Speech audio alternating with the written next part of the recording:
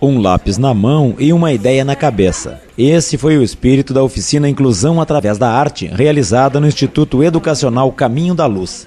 O evento faz parte da programação da Semana Nacional da Pessoa com Deficiência. No meio de tantas cores e formas, a criatividade ganhou o espaço e a atenção dos pintores. Os desenhos utilizados eram feitos na hora por este desenhista autodidata. Ele comenta como foi demonstrar um pouco da arte para uma turma tão especial. Para mim é, é, muito gratificante essa oportunidade que eu tive de fazer essa oficina com eles, que eu, eu recebo muito, fico muito feliz em trabalhar com eles, dar oficina com crianças. O cuidado e o companheirismo foram essenciais para que as pinturas ganhassem vida e estilo próprio, o que na visão desta professora foi importante para que cada um deles pudesse demonstrar o dom artístico. É tu olhar o sorriso no rosto de cada um, né, do trabalho deles, eles mesmos têm essa ideia que eles construíram e eles têm essa vontade própria. Tu olha, tu olhar para cada um, aparece um sorriso estampado no rosto, né? Eu consegui. É, é, esse é o nosso objetivo.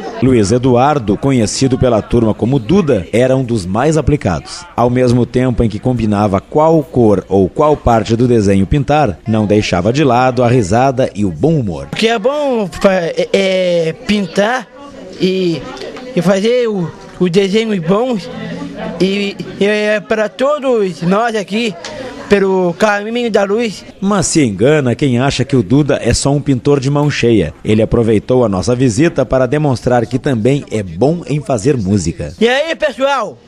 Vamos ouvir aqui, ó.